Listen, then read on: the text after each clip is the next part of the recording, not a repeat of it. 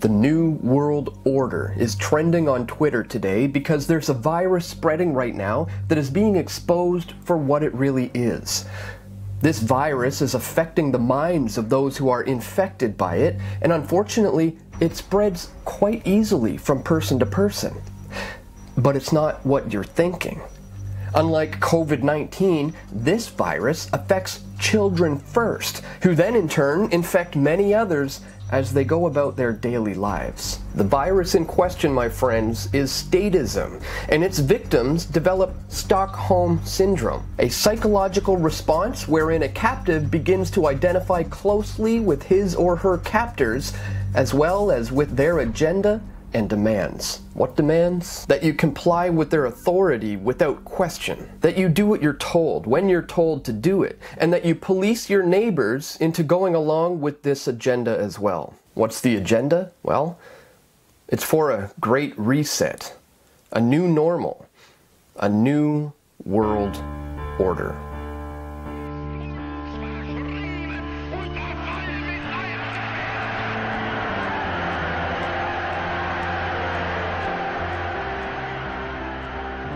The hope that each of us has to build a new world order in which nations and peoples with different systems and different values can live together in peace. We have before us the opportunity to forge for ourselves and for future generations a new world order, a world where the rule of law, not the law of the jungle, governs the conduct of nations. Now we can see a new world coming into view a world in which there is the very real prospect of a new world order. It is a big idea, a new world order, where diverse nations are drawn together in common cause to achieve the universal aspirations of mankind.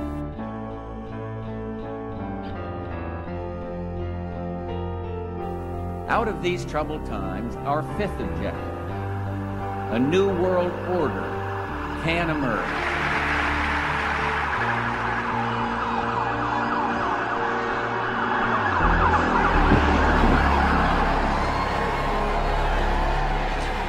There is a chance for the President of the United States to use this disaster to carry out what his father, a phrase his father used, I think, only once, and hasn't been used since, and that is a new world order there's a need for a new world order.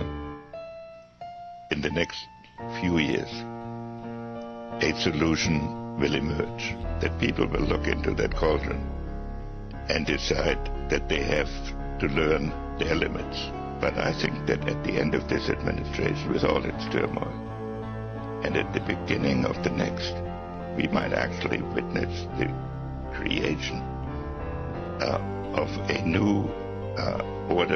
After 1989, President Bush kept said, and it's a phrase that I often use myself, that we needed a new world order. It is a new mindset that the world now needs. It is a real, global New Deal that we need, an ecological and an economic New Deal that we need in the name of France. I call upon all states to join ranks in order to found the new world order of the 21st century.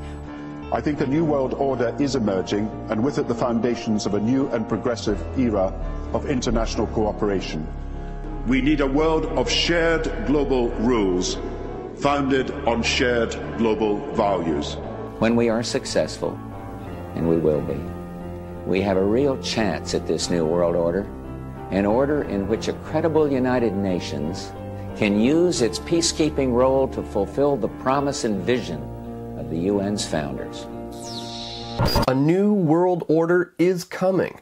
But there's good news, my friends, and that is that this entire system is set up in a pyramidal structure that is destined to come crashing down one day. The only question is, which side will you have been on when all is said and done? Did you side with freedom, individual liberties, and sovereignty? Or did you police your neighbors into going along with the agenda of your captors? I, for one, will continue to expose wickedness in high places and to shed a light on the deeds that are done in the dark. If you appreciate my efforts, it is crucial, now more than ever, that you visit pressfortruth.ca where you can sign up to my newsletter. You can find me on all the alternative platforms to YouTube that I'm on, and here is where you can also financially contribute to my efforts. If that is something you would like to do, please check the links located in the description below. That's all for today, my friends. Thank you so much for watching. Click that thumbs up button and share this video if you found the information to be useful.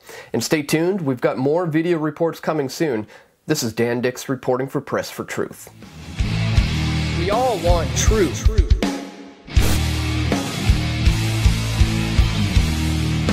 The truth will set you free.